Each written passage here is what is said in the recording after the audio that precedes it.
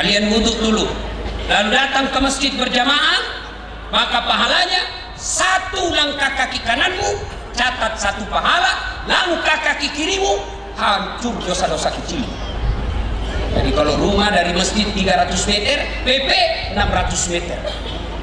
Satu langkah pahala, langkah kaki kiri hapus dosa kecilnya. Apalagi kalau bapak jalannya begini. Uh, berapa langkah kaki itu? Masya Allah. Apalagi kalau bapak begitu sampai masjid keliling lagi dulu ke pasar, pergi lagi ke sana, ke sana lagi sampai berapa langkah kaki didapat? Ustadz aja dia gosip. Itu juga bajunya waktu di YouTube. saya dengar tadi di lewat tadi saya dengar. Itu juga bajunya waktu di YouTube.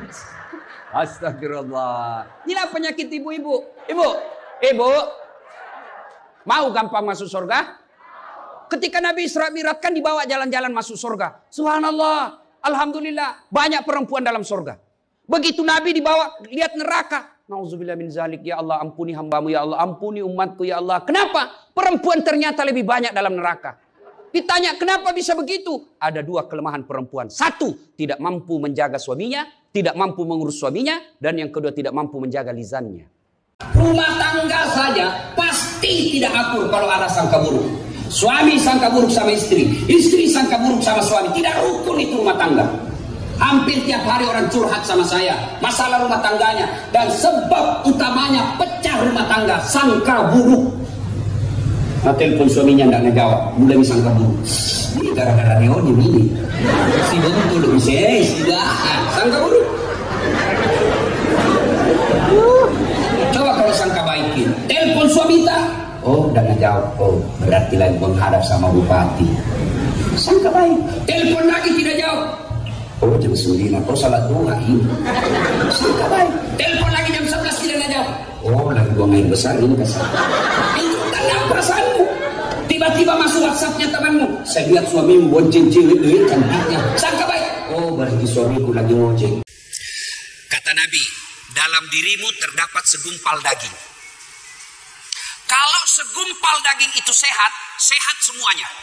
Kalau segumpal daging itu sakit, sakit semuanya. Sahabat bertanya, apa gerangan segumpal daging itu ya Rasulullah? Nabi menjawab, dialah qalbu, hati. Berarti di sini ASN, TNI, Polri, baik tidaknya kinerjanya tergantung hatinya. Kalau hatinya sehat, tutur katanya baik. Sifatnya baik, perangainya baik. Kalau hatinya sehat.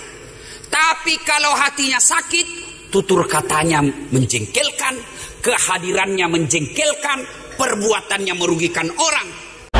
Kata Nabi, kalian wudhu dulu, lalu datang ke masjid berjamaah, maka pahalanya satu langkah kaki kananmu, catat satu pahala, langkah kaki kirimu, hancur dosa-dosa kecil.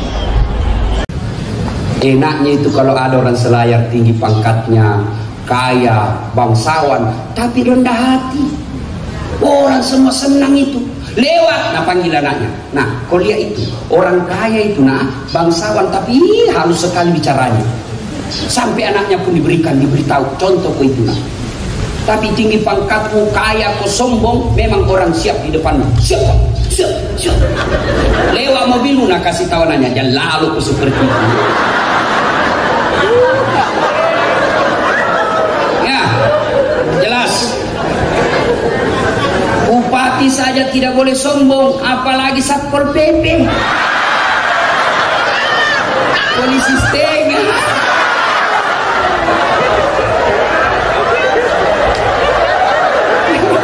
Ada Satpol PP di sini.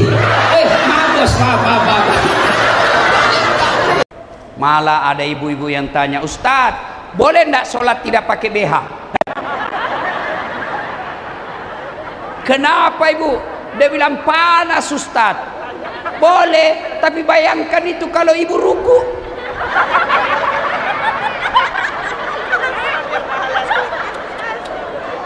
Bu.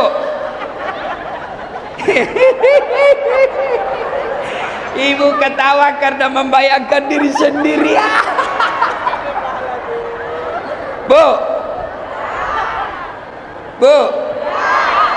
Kalau ibu tidak pakai BH sholat, bayangkan bagaimana perasaannya ibu gubernur. Kalau ibu menghadap suaminya, Pak Gubernur lalu ibu tidak pakai BH. Hei, Pak Gubernur, ada kebantuan? Eh, bilang kurang gajar kau keluar. Ya, ibu. Eh.